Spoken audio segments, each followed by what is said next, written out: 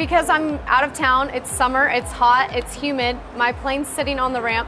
There's different levels of pickling your aircraft to preserve that engine and to prevent the rust and everything else from happening. You can start, even if you just get the smallest spots of rust, then once you start running that engine again, it's gonna start shaving metal because that surface is sacrificed. Yep. So I used this in my engine. I actually ran it the last time I was there, so one month in between, got it all the way up to operating temp to create that boundary layer. And then, like you said, to be sure to not move the prop again because once you get that in every part of your engine, you don't want to sacrifice that. Um, and the boundary layer is created chemically yep. through what you guys do in the lab. Yep. Um, so then you can take it a step further and start using desiccant plugs or throwing desiccant plug uh, bags mm-hmm. up your exhaust pipes, taping those.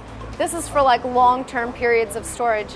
If you want to go even further than that, you'll do an overtop spray. I think it's called fogging. Um, there's several different ways.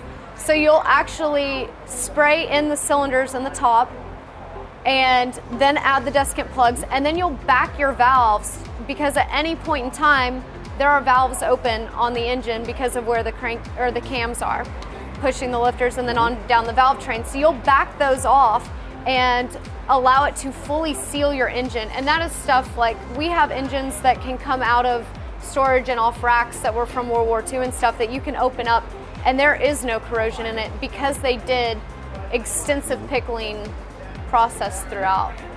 So that we were getting a lot of questions around folks with that uh, as of late. So because avgas is getting pretty expensive, some folks are saying, well, I'm not going to start flying as much until prices come down, those types of things. So yeah. we are seeing more questions this year than we did in 2019 kind of around that.